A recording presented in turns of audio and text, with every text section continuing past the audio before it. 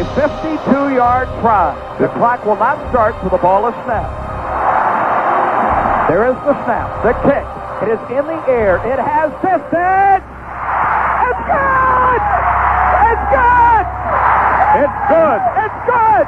It's good. It's good! Van Tiffin has won the ball game. Alabama has beaten Auburn!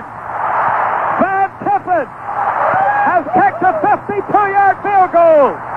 The state of Alabama is crimson.